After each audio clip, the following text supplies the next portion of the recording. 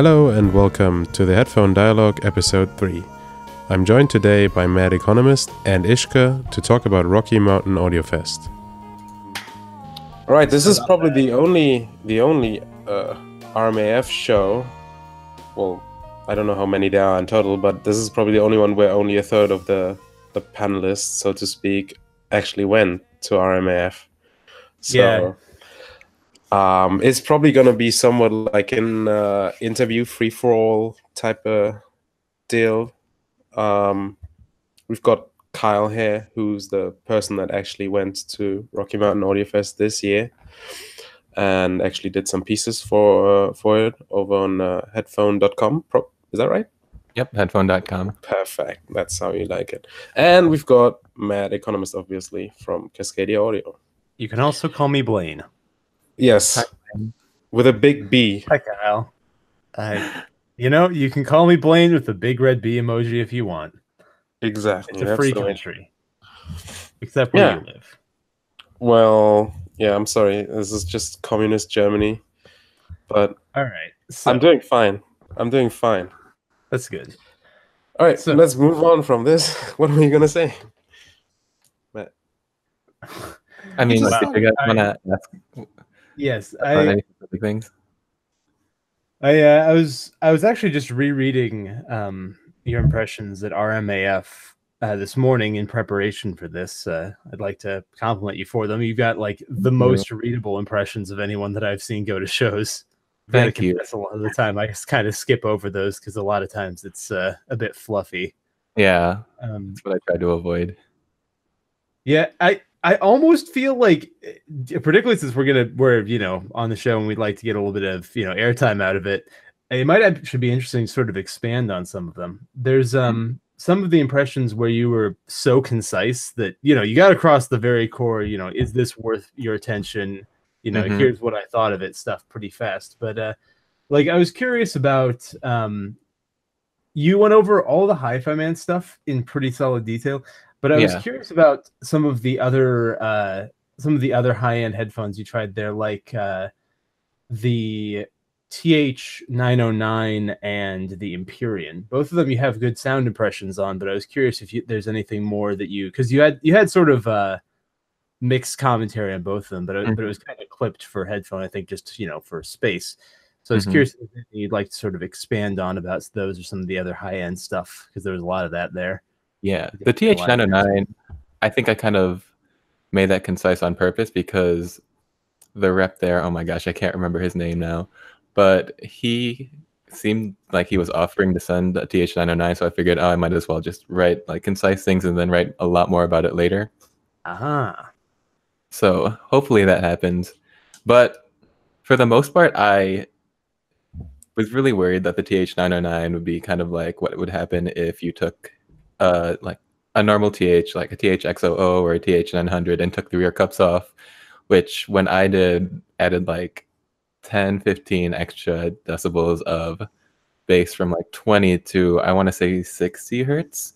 And like all you could hear is sub bass. It's ridiculous. It But so loud. it's really funny to hear. Like people who have one should definitely try it at one point, but I'd I'd be surprised if anyone kept it like that. But the TH909 was a lot more reserved in the bass than I expected. It's about TH900 level, I want to say, if not maybe a little bit more. Huh. And it doesn't have that really bad lower mid-range dip that I find like really annoying for any sort of low instrument or low male vocal because it removes so much of the body that it's not really like authentic sounding to me. Yeah, it's like the worst part of the TH900. I really like all of the other TH series for not doing that. Yeah. And for some reason, the flagship is the one that has the most like annoying tonal issue. yeah. But Funnily also- the same yeah. issue I had with the HD820.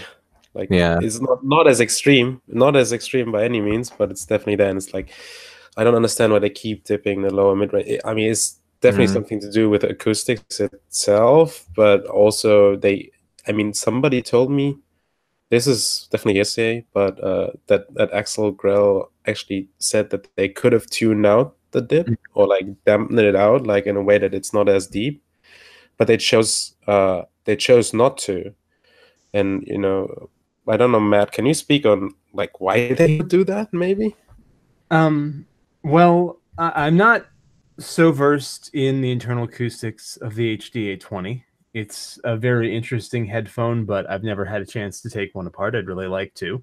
Um, for the, I mean, for the TH series, we obviously see that you can, for those sorts of dips in ported sort of reflex closed back closed front volume designs you can change the point of the null and attenuate it quite a bit and you can damp it quite a bit um, there, there's trade-offs and a lot of it varies by the internal acoustics. I'm sorry i'm sounding really vague here but like there's there's a lot of things that are in play.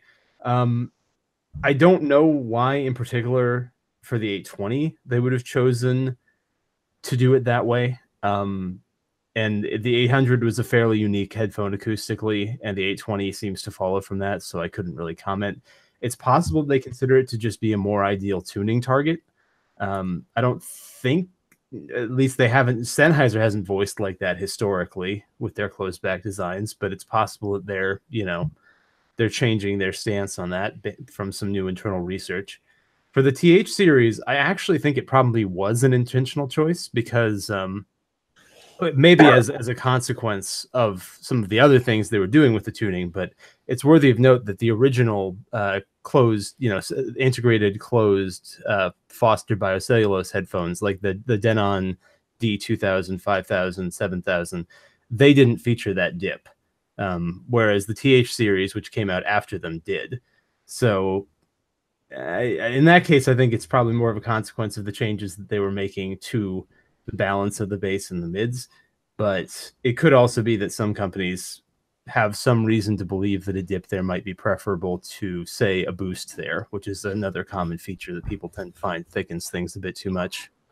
Okay, mm-hmm. yeah, that makes sense. But, but I, I, wouldn't me, want to speak for them. I mean, this is very loosely, but to me, I would always say that the HD 800 sounds a little more diffuse field tuned, and the HD 820 sounds a little bit more Harman target tune, subjectively speaking. I guess. Um, just not not uh, not. Obviously, it's not like on there, but it's like vaguely more, you know, tending more towards these. Where this is like where they differ, I think, quite a lot.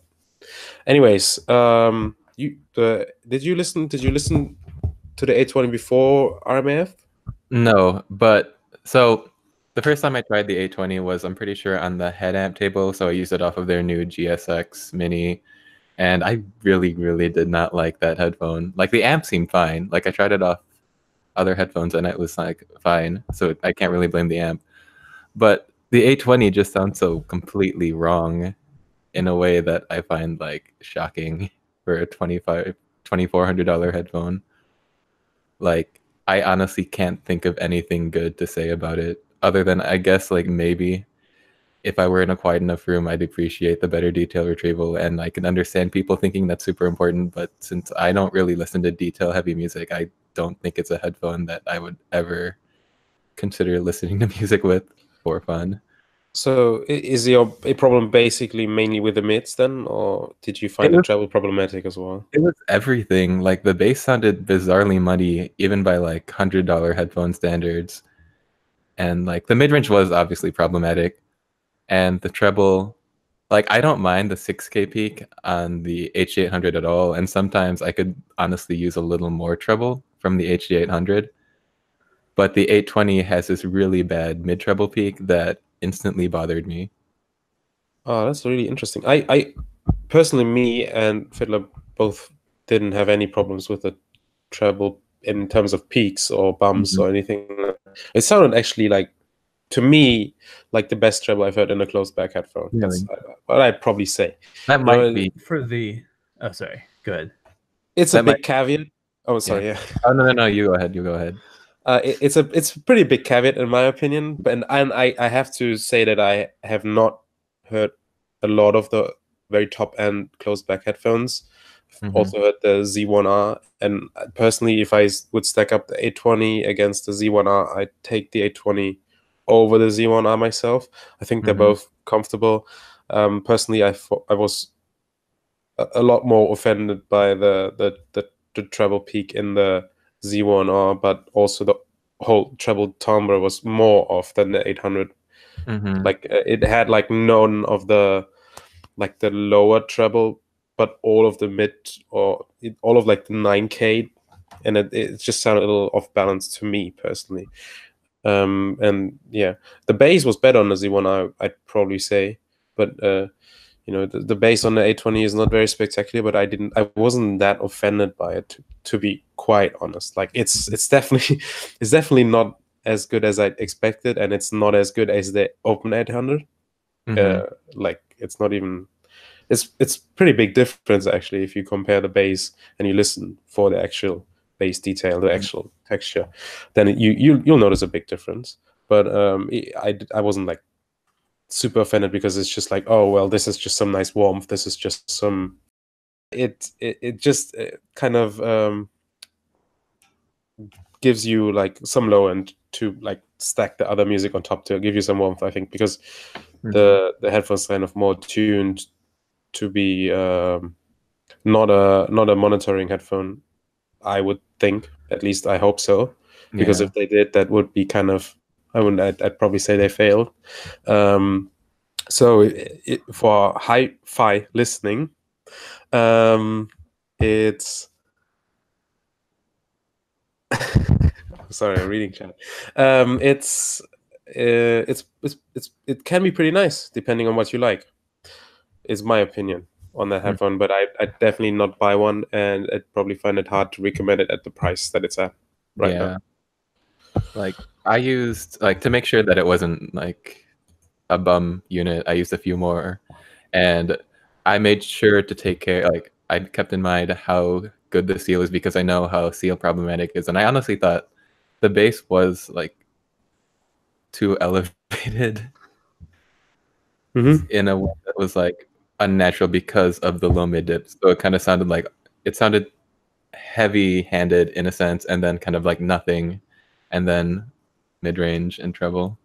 Yeah, I think I know what you're saying. Yeah, it's kind of uh, it's not it's not hollow, but uh, it's like there's just yeah, I know what you mean. There's like something missing, and then it sounds like off kilter. When there's a discontinuity between boosted bass and recessed lower mids, it always sounds kind of unnatural to me. Yeah, Yeah, th- thanks for putting it so eloquently, man. That's why we have you. I, I was Also, gonna I'd like- say also, but Yeah. um, okay. So and you asked about the what were you saying? we just all tried to see the floor at once. all right, All right. Uh, one thing I was But, just gonna uh, say for how different you guys' impressions are of the HD 820 treble, it's kind of interesting to point out that if it's anything like the HD 800 in that respect, how you naturally wear it on your head probably is a pretty big factor that's as true. well. I think that's a Oh, big yeah, contributor to definitely. That, that, that could explain the, the Mhm. bump that that ish that bothered Ishca but didn't bother me. That I mean, precisely. Yeah, Like I usually wear the 800 more towards the back of my head. Okay, I, I, I like centered. Like I have like I try to have like an even uh, even um, distance all around my ear to the pad. Yeah, I follow like the old Meyer audio thing where usually instead of like centering it, you have kind of a little bit down and back.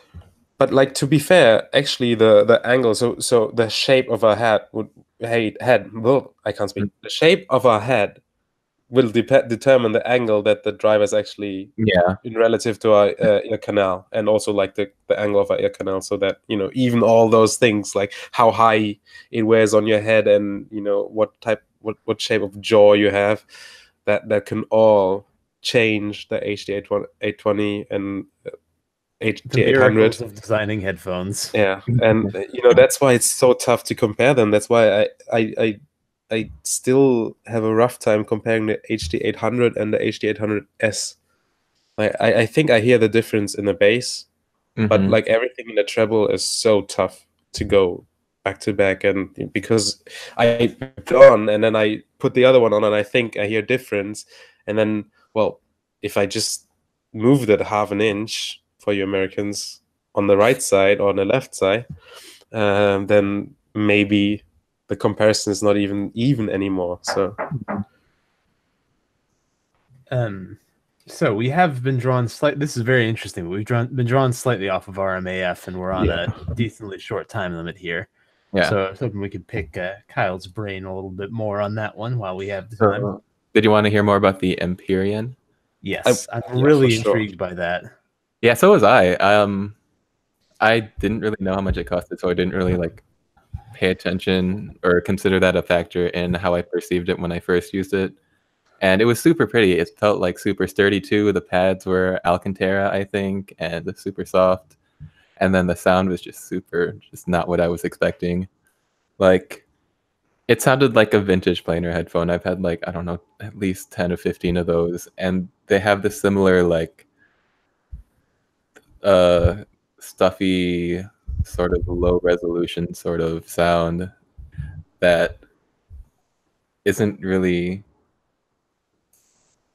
it's good for like low i don't know i guess like the way that drew mentioned like talked about the empyrean was that it's like the headphone version of the youtube channel lo-fi beats to chill and listen to and study to or something like that and it sounded a lot like that like I was really disappointed by the sort of congestion and lack of resolution, I guess. Interesting. Yeah. So what amps did you And- try it off? Only had a um this weird amp. I can't remember what it is. There's a picture of it on the website that I'm looking at now. It looks really pretty, but very Yeah. strange. It was some I'm pretty sure it was OTC. But it could have been an OL, which is a really weird combination. And I want to say the brand is Darid, but I could be wrong. Okay, is it just me or is Kyle just cutting? Yeah, I was gonna say. I, I think that I thought Really? I was having internet Oh. problems. For me too. But um Yeah, I think that one of us is having an internet connection issue. They're trying me. to censor us. but um as far as sound goes they had this really weird peak at 4 to 5k that made everything sound nasal Hmm. Yeah, that was a pretty common theme for the things that i heard and that's not a lot of peaks there. yeah and like a lot of different headphones and that's not something i can think of off the top of my head that's super popular So, um, What Moving on the other then. stuff that had it? yeah, Uh, the Ether did. uh, The Ether Two did. Um, what else did? The Verite. Uh, Uh, the what? the Verite, the ZMF. Verite. Well, basically all the HiFiMan stuff, but that's like their thing. Yeah. The ADX 5000, which is also their thing. Can you Uh, talk? Can you like talk more about the the Verite? Maybe I'm I'm always Okay. interested Um, in Zach's doing.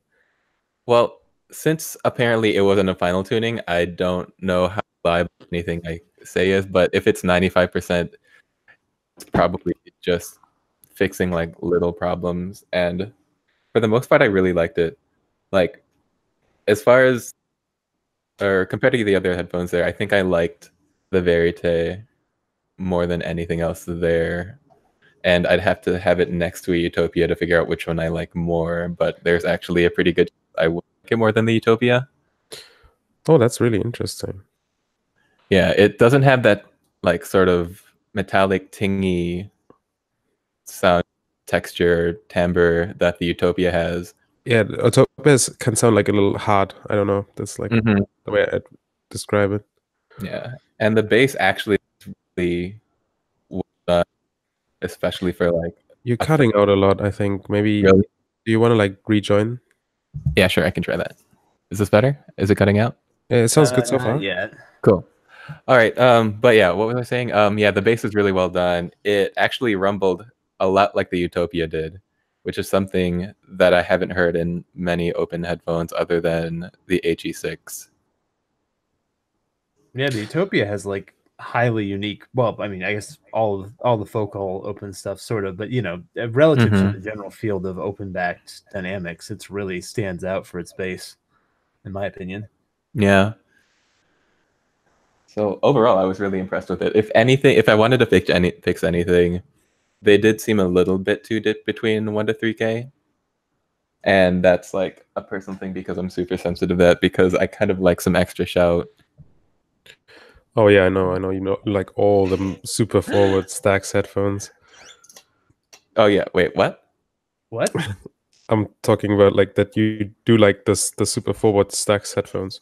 Nah, the only Stax I like that I could I would consider forward is the 4070. Like I'm not a fan of the 009 because Oh, I think okay. the tone the timbre is really weird to me. Oh yeah, you talked about treble, I think, right? Mm-hmm. Yeah, well, the treble and the say- mid range, yeah. Kyle in I- general is kind of uh, known for his sort of so-so on Stax. Yeah, like I liked. I had a 007 Mark II that I did the bass port mod on, and I thought it was pretty good.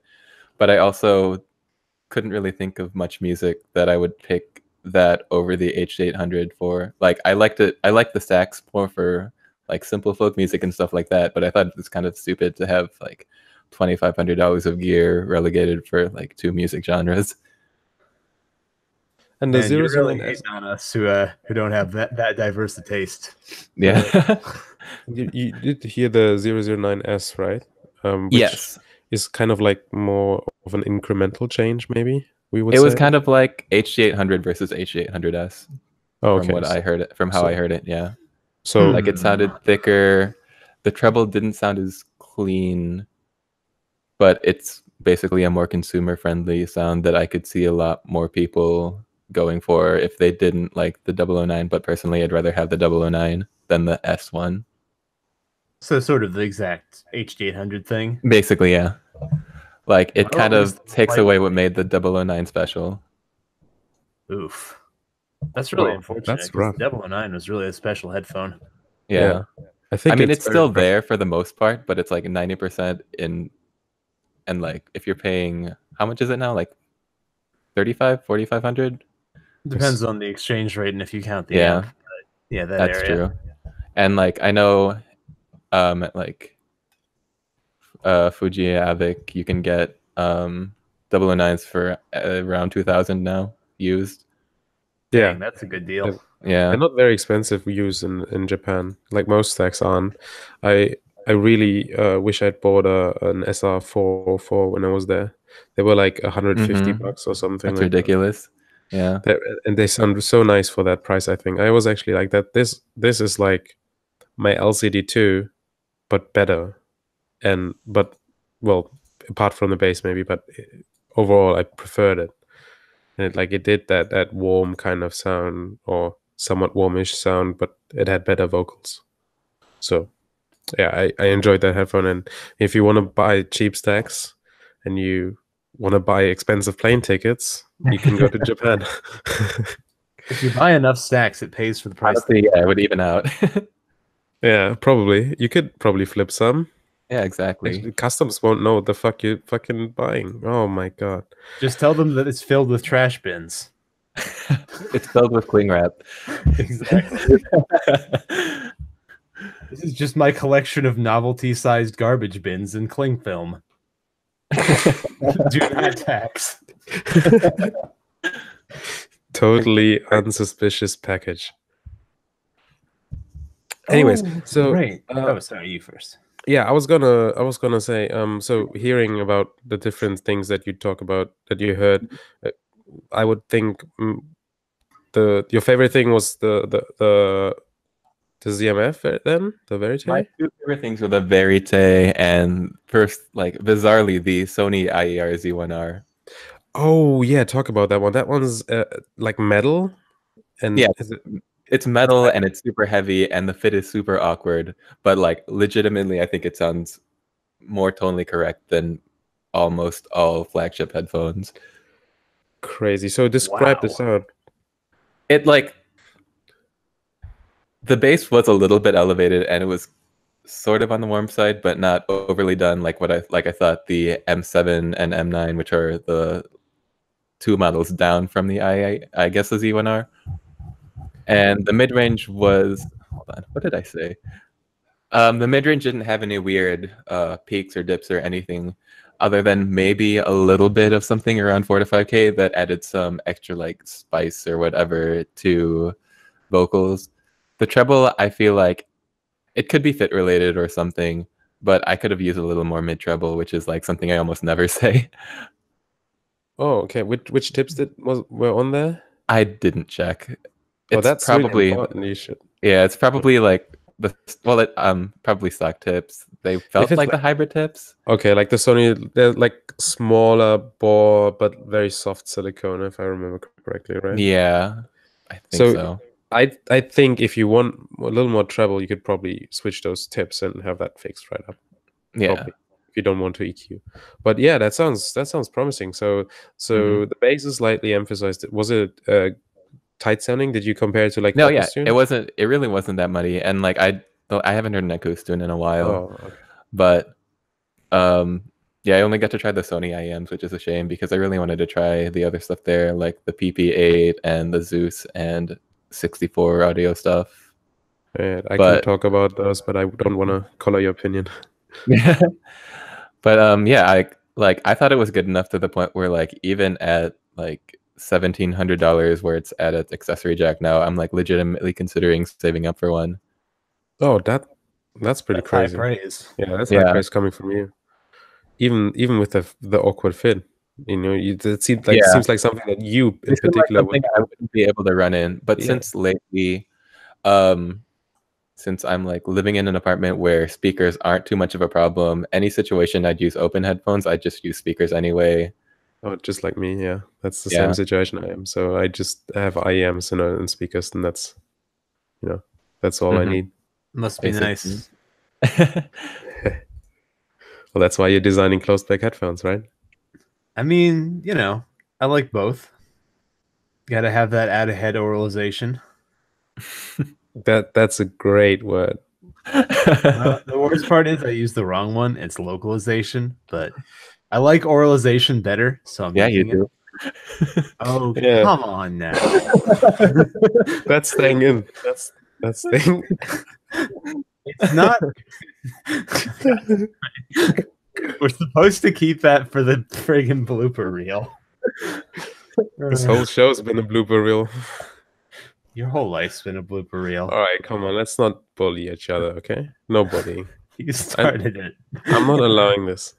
All right. I actually I did have a question. Um Mhm.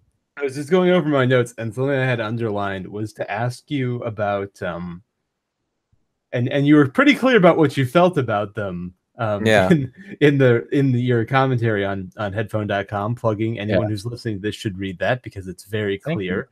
Um Link in description. but uh, yes, link in the description. You know, like and subscribe. Um, but the I, I was wondering if you had any more details on those uh, twin pulse headphones. Oh my you, God. uh, which, feel- uh, I feel so bad about saying such negative things about them because they were lit like literally the nicest people there. Maybe But, not really. They were super nice. Um, when I, I first connected it to some DAP, I can't remember what it was, but it kind of like the button I want to say looked like the Vizio icon, or I could be misremembering. But I was like, okay, um, these are weird. The mid range isn't really there. The bass is kind of muddy. I didn't say that to them. I was like, oh, they sound interesting because that's the appropriate thing to say at shows if you don't like something.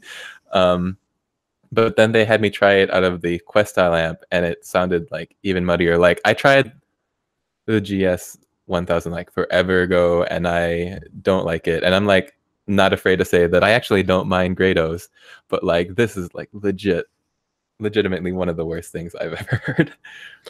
Wow. and, and you said it's a dual driver design. Yeah, they connect two drivers in ser- or in parallel or whatever, one on top of the other. And then for some reason, yeah, there's some like sort of science that they say makes They're, bo- they're both firing towards the other. Wait, how? I was gonna ask, how do they Oh. fit two drivers into a Grado cup? Because the only way I could think would be like an uh, isobaric sub, where That's a- one fires forward and the other backwards. it's a pretty deep cup. And the Oh. driver I want to say is um maybe an inch and a half thick. Huh. Like, So, so they are stacked. They're stacked, yeah. Like they showed the driver in like they showed a disassembled driver like exploded. That's It's really- cool, two bizarre.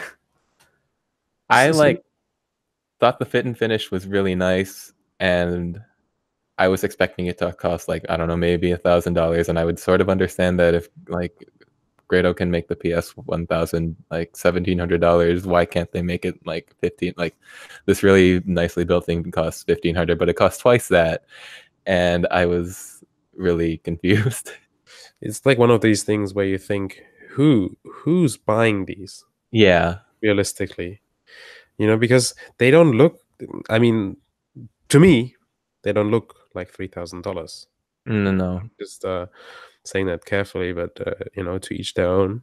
It's just uh, interesting where these companies just come from. Uh, I like I like seeing it. I like seeing new companies. I like seeing people do do new stuff. It's just uh, obviously not everybody's gonna gonna succeed.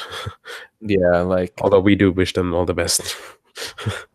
yeah, I like I want them to succeed because they were so nice, but they really shouldn't have made such an expensive headphone. Or I like think- if they made it cost a thousand dollars, I can sort of see where they're coming from. Is this? I don't agree with their definition of neutral, which is what they said they tried to make them as neutral as possible. But Yeah. I think they're nice to look at. is this like is this the this company's first product? Do you know that? They- no, well, Spirit Labs has a few different things. They have these Grado replacement driver things that you can put in a cup, like kind of like the Magnums and Oh, okay. Yeah. Mm-hmm. but and they also modified some bears, I think.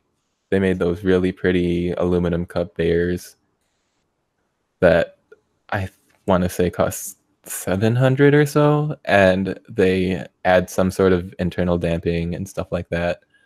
But this is their first like real headphone that isn't a modification. Right. Yeah, I'm looking at their website and these I mean there's some beautiful pictures on there for sure. And some Mhm. very, very big price tags. Anyways, so um, I actually have a yeah. picture of their um their driver. I actually was curious because of Oh. how you described it. That's uh th- this is how apparently they've had it rigged up. I hadn't known that they were Spirit Labs. I was trying I tried to find twin Oh. Pulse, but it turns out that's a Yeah. really common phrase. Um so that, that is legitimately they've done it. It looks like an isobaric subwoofer, um, Mhm. except with both drivers angled forward. Although I don't know what the polarity of the wiring is. Although presumably, if they're both angled forward, I guess probably same polarity. Um, I think they said they wired it in series. well, yeah, but you, you can do a series arrangement Yeah, where oh, yeah. plus terminal goes to plus or a plus terminal goes to minus. Mhm. Um, I'd imagine probably plus to plus in this case, since they're probably trying to keep pressure constant. yeah. But um, that is a very intriguing design. Although I'm really confused that they tried to do that in a Grado housing, where I mean that's usually the simplest possible acoustic design. It's you know sealed baffle mounted to your head, you know sealed from the back, mounted Mhm. to your head with a foam pad. Uh, do you know anything about Spirit Labs other than you know their their country of origin?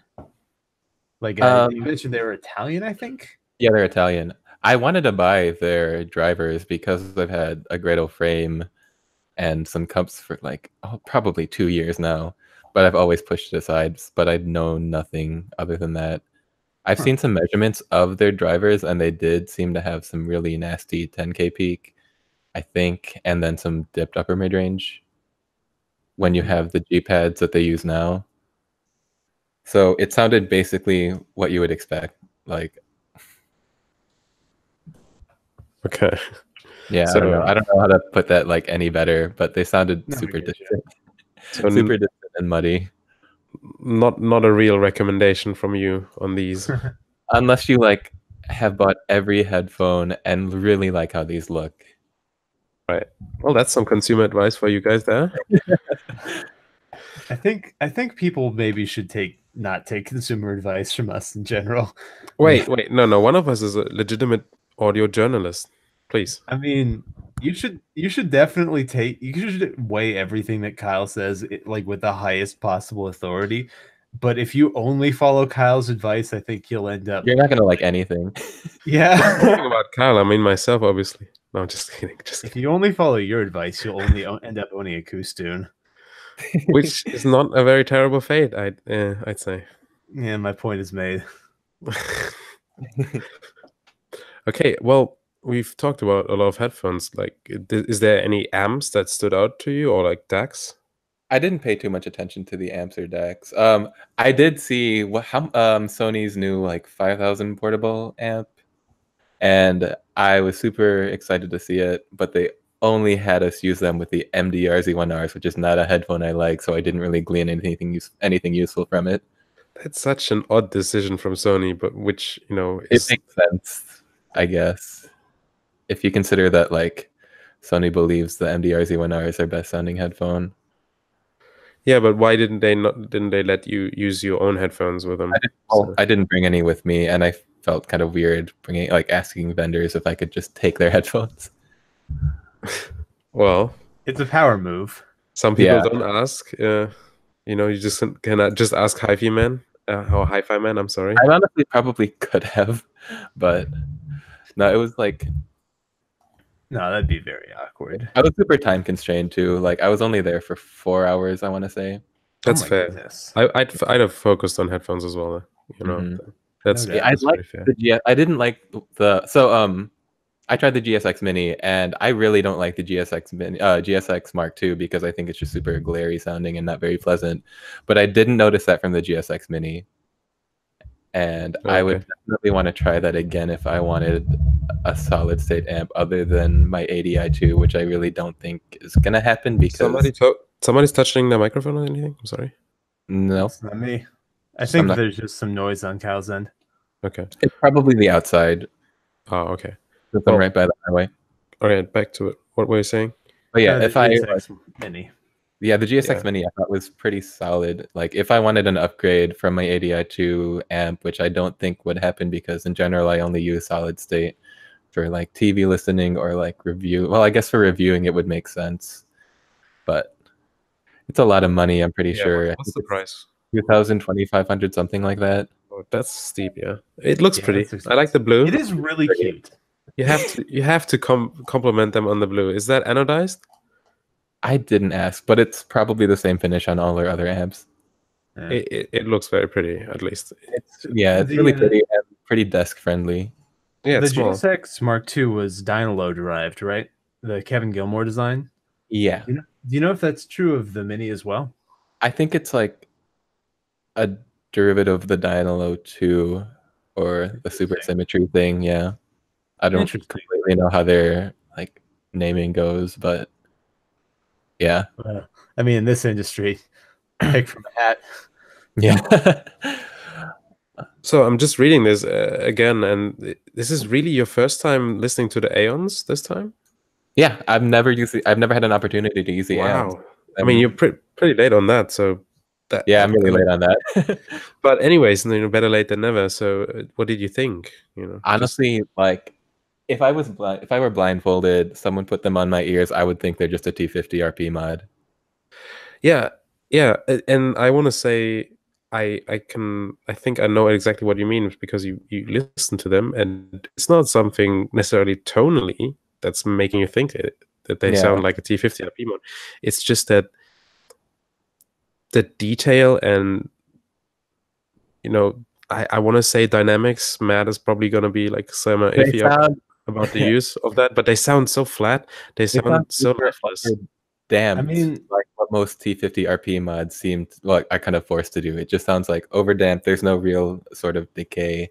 It just kind of hits you and then instantly leaves, but in a way that's different from Stax stuff and just like it just sounds really wrong to me. I will say, re re uh, dynamic. I would have complained more prior to this weekend when I actually did measure a planar magnetic headphone. That is the first case of mid range compression I've ever seen in a headphone. So uh, at this point, I'm reserving judgment. You know, it could well be there is some mid range compression in some of these, you know, new planers that just I haven't seen before. My, Oh, my, feel my, my weekend was shattered by that one. Well, I'm not saying you're right. I'm not saying you're right. I'm just saying Well, I can't. you would say never say that I am right anyway. So Well, uh, hold on. It's not that bad. I like that. you're I like, right. I like how you comfort me. I also like to say I like I like to you know just go back to right to the start.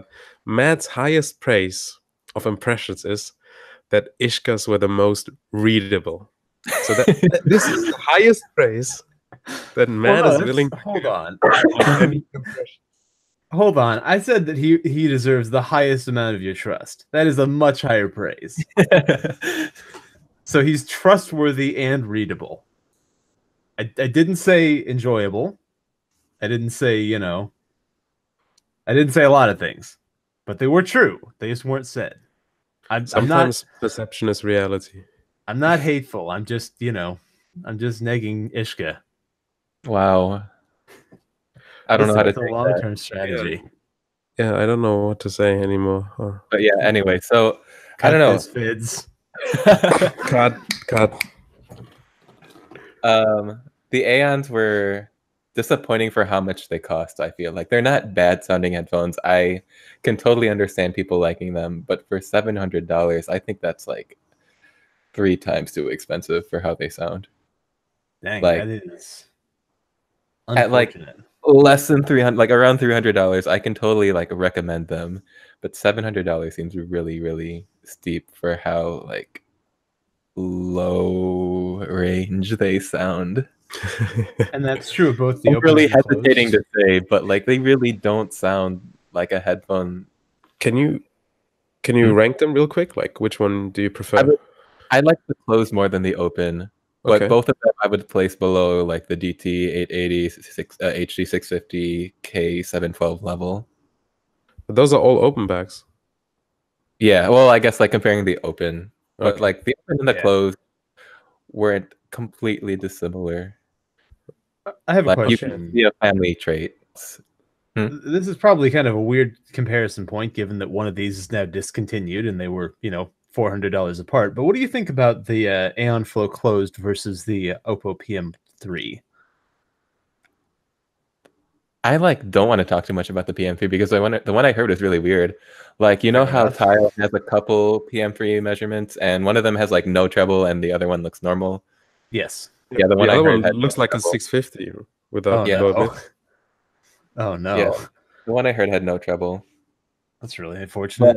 They would probably be competitive. They probably sound like on the same level, if not slightly worse. Because like I do have a PM2 and I use that as one of my main portables. And what I remember is the PM3 sounded a lot like the PM2, but like worse, which is totally understandable for half the price and closed. yeah.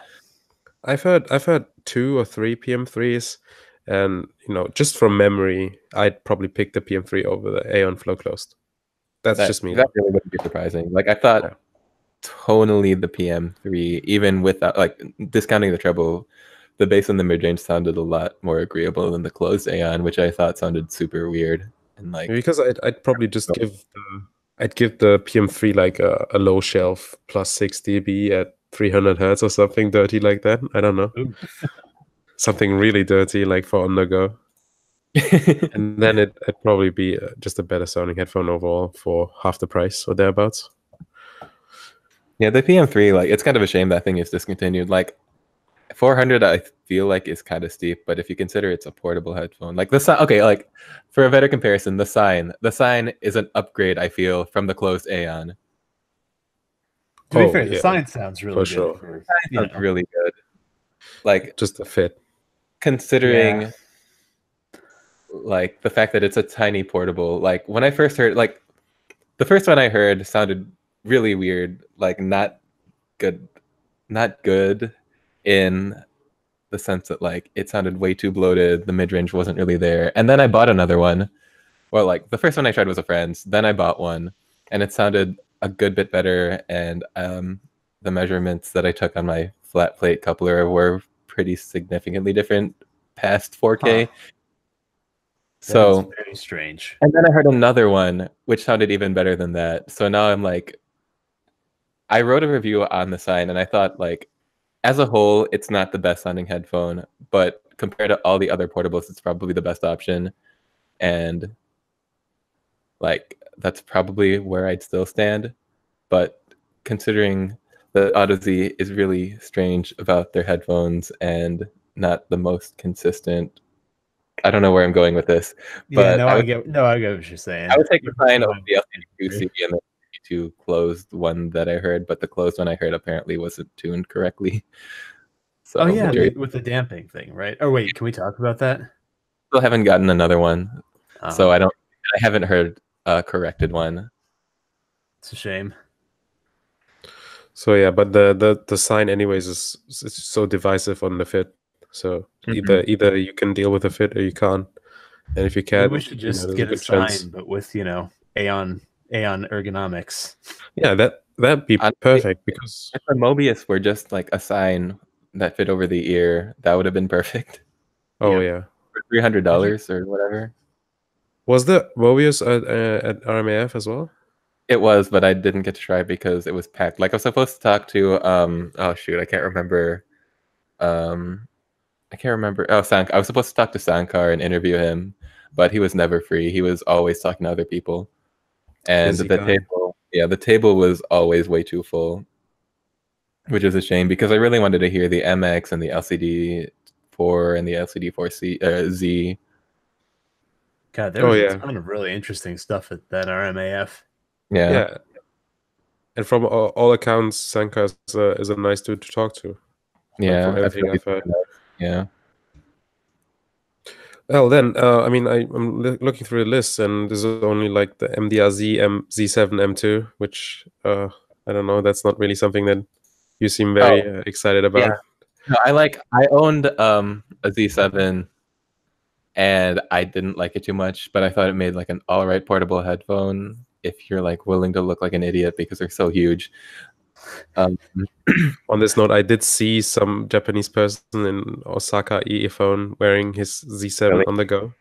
Yes. it's totally doable. They do let some sound in and they do leak a little bit of sound, but they are usable, I guess. Better than like an LCD XC or something that's like super heavy. Oh well, yeah. Again, setting a low bar, but Yeah. but yeah, I don't know. The Z7 M2 just sounded bizarre because there was no guitar attack or like any sort of attack when I listened to a few other songs. that's so weird because this, it sounds like it's so different from the first one, from what I'm reading. I mean, Well, the original one also I feel like sounded like that because it had a big dip around 2 kilohertz. Right. I feel like I, I notice a big difference in guitars more with the lower mids personally, but Really? um, yeah, I don't know. On Uh, attack? Not wait, no, no, no, just on body. Like, yeah. I, I think the cow was talking more about, you know, less about Oh. the, the lower weight, but more about, you know, Yeah, not the weight, the like initial like hit, I guess. I, I got it now. I got it now. Okay, yeah, I, I get what you're saying. Right, Yeah, yeah, the, That you hear from like electric guitars. That definitely, like definitely agree. Yeah. That's that's how the Z7 sounded to me as well. Yeah, no, Yeah. no, no. I get what you're saying. Yeah, Yeah, it's, yeah, it's it kind of like that, but kind of more, which is pretty disappointing. It sounds kind of again. It sounds like something that's uh that should be way cheaper for what it sounds like, uh, like the Aeon. Someone, although I don't know. uh, I'd probably actually take the Aeon over the original um original Z7. Although Really? I, I'm not completely sure on that one. I don't know. I, I had some issues with the mid range on the Z7. Yeah, I bought mine for sure. 350, so I think that was awful. Did you want to but then mod that one? I bought it. It changed almost nothing. Oh, you're cutting out again. That's sad. Uh, I did mod it and it changed almost nothing. Oh, okay. I, we did hear that one. Okay. Yes. So, Matt, is there anything left you you want to talk about? Um, yeah, well, we're we're running pretty shy of time here, I think, but there was just one thing I wanted to hit, um, just so that we don't come out of this looking like Kyle is a total downer on everything that isn't over a thousand dollars. This one, I know that there was one headphone that was under a thousand dollars that you came away pretty positive about, or at least relatively positive about. Mhm. Um, and I was wondering if you want to talk a bit about it. Yeah, uh, I really like the Sundara. Like, it's a shame that there are so many people that had issues with them just not working. I think it was a solder joint that came undone, but like, Yeah, I legitimately would take the Sundara over most headphones I've heard. see, that's like think- really good. like, it's the closest thing I can think of to HiFiMan actually making an HE500 success- successor. Like, it doesn't sound like the HE500, but it sounds like something that's actually worth 500 like the MSRP, which is something that I find rare, especially now. Yeah, it's it's really nice to see that sort of thing in something that's you know these days we're we're finally getting some population in the 500 to 1000 bracket, but Mm-hmm. not not that fast, and a lot of them they're flawed. Yeah, So it's really exciting to see something that's honestly when I saw how the Sundara measured, I was really sad to see the QC reports as well. But uh, when I saw how it measured, I was like, that thing looks like that could be really exciting as Mhm. something that people can actually afford. especially so since really HiFiMan is just kind of like, sorry, especially since HiFiMan is like the brand that people sort of make fun of for having headphones that are way too expensive. Like, yeah, kind of funny seeing them actually making something that's a really good value. Sadly, people also make fun of them for their QC, and we do see Yeah. That. And it's not- issue. Unfounded, obviously, with the Sundara, since some, they do seem to be breaking. But But if yeah, they- I mean, first runs always have problems. Oh, yeah. I mean, like obviously, you do your best to keep things together, and you know there, there's steps you can take to make yields better, but sometimes it's going to happen. I think it's sad that this happens so much to HiFiMan. and I'd like to see them do better, but I also feel like to some degree that's sort of the risk of buying early because usually these are the sort of things that get pinned down over time. You know, you don't you don't usually see stuff like this happening. Well, well, I mean, maybe with some products, but hopefully you don't see this happening constantly over the product lifespan. and I see where you're coming from, and I, I definitely agree that it's the case. And you know, Hi-Fi is not the only company that eh, that has experienced growing pains when they release a new product. Um, but you know, in the end, it doesn't make it right, and we should still hold these companies to you know to the to to the standard of of them trying to release a product that's actually you know usable for I most people that buy yeah, it. Of, course, they should absolutely, you know, if, if you something is defective and it's not working for users, you should replace it immediately. And you should absolutely take steps to make sure that whatever problems caused this, if it's systemic, are resolved. And I'm sad to say that at least with some product products and problems, HiFiMan doesn't seem to have done that as much before. There, there were some problems that existed across, you know, product generations, which is just sad to see. Um, I don't know. Yeah. I, I don't know what I'm saying here. I guess what I'm basically just saying is I, I'm always sad to see it happen, but I, I hope that people won't make make themselves, you know, won't be too put off of a lot of really good value options just because historically there have been problems and growing pains. mm-hmm.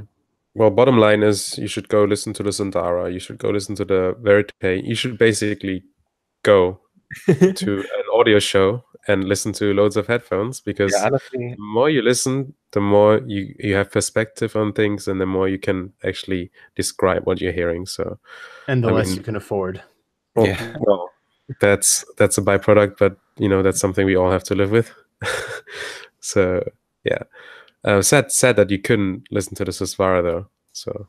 yeah. I mean, I got I- to like 65 dB on the Susvara, which isn't loud enough, especially since I like to listen at around 85 to 90. Oh, and particularly a show for an open headphone. Oh yeah, it was really disappointing. Yeah, I don't know wish- why they insisted on using their amps. Yeah, I think I saw a cou- I saw a couple other Susvaras around, but they were in this outside room that I didn't think to look at, which is really sad because they also had the Final Audio D8000. Oh my gosh. Is that Man, their it was plano? like yes. Oh, That's like one of the like two or three headphones that I think is the most neat in this past Yeah, year. it's been- neat. their their paper on their well sort of like paper presentation thing on their um their damping system for it is legitimately fascinating. They seem to have come at planers from a really different perspective than every other manufacturer currently on the market. Yeah, I wasn't compl- like too worried about that because headphone.com is a final audio dealer, so hopefully sometime in the future I would be able to actually have my hands on one of them for a couple weeks or like be able to be get super measured. nice. Yeah. yeah, yeah, definitely. That would be so nice because it's, it seems like somewhat of an elusive headphone at the moment. Mhm. There's not really much out there. I've had some some uh, impressions comparing it to an HD 650, but you know, some no, everything gets compared to the HD 650, so you know, take it with yeah. a grain of salt. I wonder if uh, whoever, you know, I wonder if I guess Axel Grell is probably the fellow ever feel sort of resentful about the fact that whenever something new comes out that's pretty good, immediately everyone always goes to say it's better than the HD 600 or HD 650 in this list of ways. like at some point, he's got to be like, guys, you know, this headphone was designed 20 years ago. Stop, stop beating up on past me. I was working on a budget 20 years ago. I mean, like, to be completely honest, I like the old stuff that Axel's made more than like most of the newer stuff, though. Like, what is he? The HD820, the HD700, um, 630, which I haven't heard. So was the was the 700 his work? I, I actually was unsure about I, that one because I know he said that he'd been working on the 820 for like seven years. Really? I, I, I thought I read that in an interview with him, but it's not it's not entirely impossible that the main man Axel Grell would work on multiple headphones. Oh no, absolutely. I just, I'm just not good enough at stalking him to figure out yet. Yeah, I, wow. I remember hearing that, so I just kind of internalized it. But I could totally be. I wouldn't be surprised if he had nothing to do with it. I don't know. I honestly, I'd be interested to. I'd love to see more of these. You know, occasionally do like an interview with Axel Grell, but it'd be more really interesting if more of the large companies put more of their their chief R and D people out front to talk to. I mean, I, particularly now that there's enough of an audiophile press to you know mm-hmm. to justify it a bit more. It'd be neat to hear sort of more about the guts of you know the companies where they're they're big enough that it's not just you know where the the lead R and D guy is also going to every show. Yeah, I was supposed to do that with the Abyss guys. Like the lead R and D guy, the like lead engineer, I'm pretty sure was there. And really? Yeah, I was supposed to. Uh, so I like went up to their table. I asked if I could do an interview, but only the marketing guy was there. He told me to wait for the engineer, and I waited a bit. But as soon as like I found out, like as soon as I found him, I had to leave. So that was pretty disappointing. Oh, Man, that'd been really interesting too, because yeah. uh, aren't they still doing? Um, I think they're the only planar magnetic manufacturer that still uses milled magnets. Really? Yeah, because I know the Abyss. They made a big deal out of the fact that they were using like a single, very large magnetic plate, which had milled mm-hmm. slots, and I think that's also true of the Phi, but I'm not positive. Interesting. You should talk to the person that designed the headband and like maybe take a picture of of him and I want to see his head. Oh come on. Yeah, I've only tried the Abyss ones and it very clearly was not fit correctly because when I listened for like sub bass there was actual silence. So I have no opinion on the Abyss. No opinion. I'm sure I'm sure that was wrong. There's no possible way that could be correct. Yeah, probably yeah. not because it's like people tend to praise it for the bass. So exactly. You know, uh, is there anything else? Well, I yeah, the Ether two was interesting. It was definitely a step up from the Ether Flow. That's what it's called. And but I don't know. It's just not two thousand dollars. I mean, not many things are. Yeah, but I don't know. Like I honestly would take the Sundara over the Ether 2 without hesitation. But the Sundara is open, right? So They're both open. So is the oh. Ether. Oh right, yeah. The Ether C is the closed one. I yeah. that the, yeah, because for the Aeon, the Aeon is the the regular Aeon is the closed one, and the Aeon open is the open. open. Yeah, yeah. It's it's kind of. I, I, think he's revised the nomenclature though, because I saw I, have seen it now referred to as the Aeon Flow closed or the yeah closed. I shouldn't. Yeah, but he did that right retroactively. That's well, I mean, he's trying to keep it consistent. Yeah, I guess I appreciate that. I, I did want to ask just I know we're like almost out of time here, but um what over what headphones in the 1000 to 2000 bracket wouldn't would you take over the Sundara? Just off the top of your head. From show impressions. 100 Oh, like ever or like at the show? Well, no, like no, no, sorry, just like from your impressions of it. So I'm saying, you know, with the caveat, you might revise this, but at Okay, the uh, moment, yeah, what would you what would you take over just from the whole world of one to two K? Well, like obviously HE800. Um, if we can include use, I would obviously get an HE1000, which like because I bought mine for 1000 and I s- thought that was a really solid deal. Um, I might take the ADX 5000, but that's kind of a stretch. I'd really have to hear it again. Um, sorry. No, no, keep going. I'm sorry.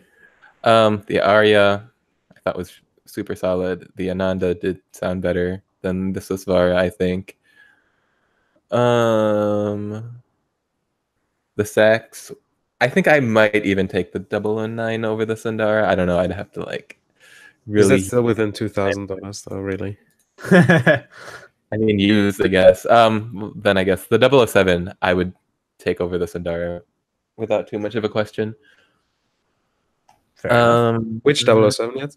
Uh, Oh, that's right. The um, the Mark II and the Mark One. I. haven't heard the 2.5. okay. What else exists? Um, the clear.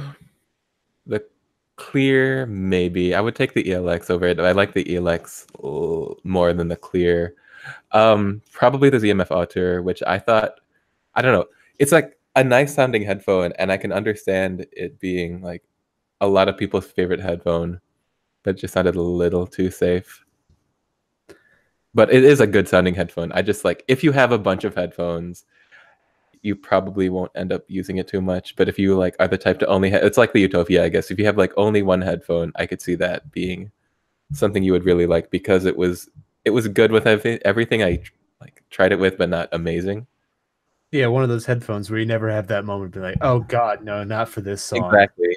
Which is how I feel about the Utopia. Like, I'm not sure I would buy a Utopia because for basically anything, I can think of a better sounding headphone, and I could probably buy all those headphones instead of one Utopia. Yeah.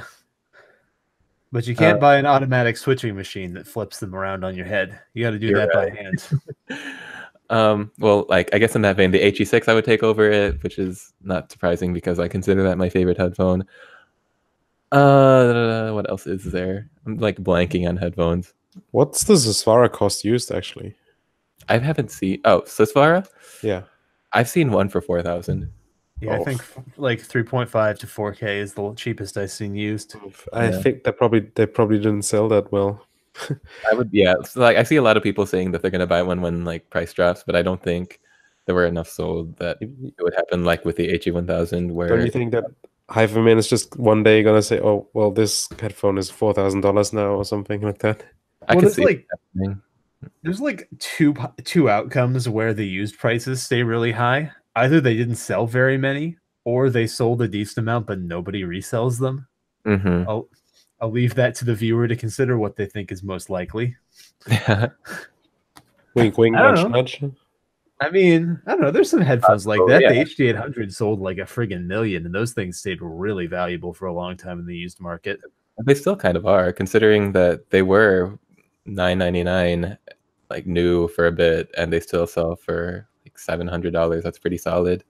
I really Joke. want to pick one up. I should I should do it. I just I wish I wish I could just do it and not worry about all the other headphones that I still have yet to sell. Mm-hmm. It's a really good reference point headphone. I think that like it's it's the new HD 600 650 kind of thing in that respect. Yeah, There's like- like it's a I, yeah, I I'm- know.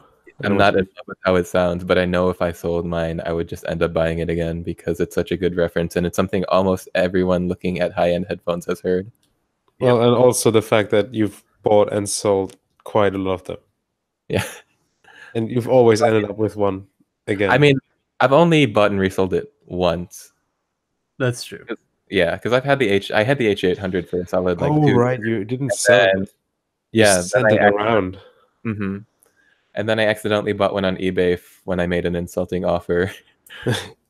Oh, don't you hate it when that happens? You send out your your the abusive offer that's meant to get them to start negotiating with you, and then they just hit accept, and you're like, oh shit, you get that Yeah, big red pay now.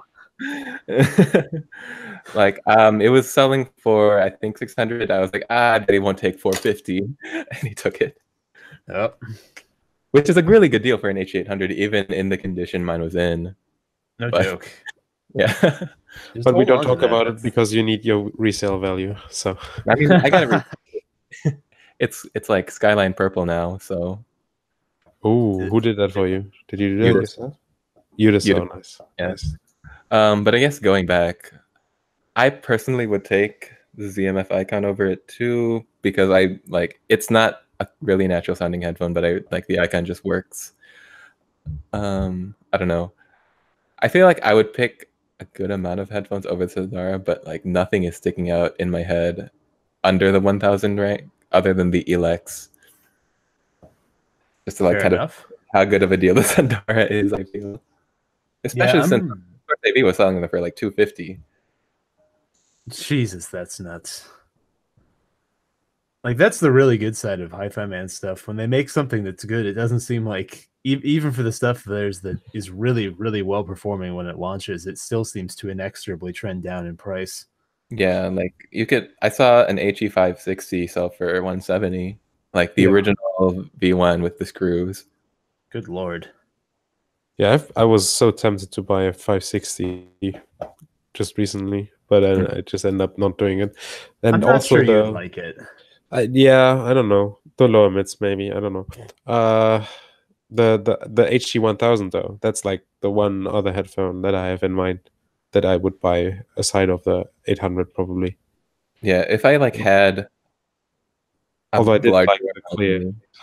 Yeah, but you like the clear. Oh, you need to hear the Elex then. yeah, You absolutely do. You need to ask um Brian J- Giacomo to borrow his. Oh, yeah. No, maybe just go to his house. He might actually Yeah. sell his. Really? Oh, point. Yeah, I I feel like he might sell it at some point, but I could be completely wrong.